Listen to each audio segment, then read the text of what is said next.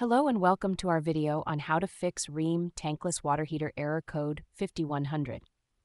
If you own a Rheem tankless water heater and encounter this error code, it's crucial to take immediate action to avoid damage to the unit and, in extreme cases, personal injury. In this video, we will discuss the possible causes of this error code and how to fix it. According to one, the first thing to check is the inlet to the water heater. You can turn off the breaker to the water heater and disconnect the cold water. Check the inlet filter for debris or blockage.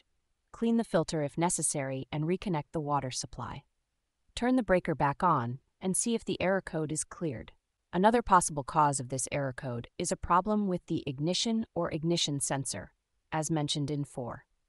Check the sensor and wiring connections and replace or repair them as necessary. To clear the error code, press the power button as stated in 3.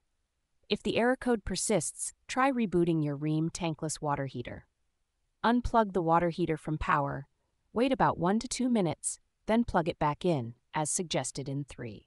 If you are unable to fix the error code, it's recommended to contact a professional water heater technician that specializes in tankless water heaters, as mentioned in 4. These technicians have the necessary tools, expertise, and training to safely troubleshoot and repair your unit.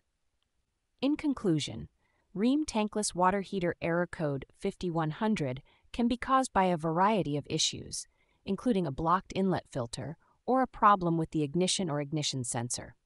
To fix the error code, you can try cleaning the inlet filter, checking the sensor and wiring connections, pressing the power button, or rebooting your Rheem tankless water heater. If you are unable to fix the error code, it's recommended to contact a professional water heater technician.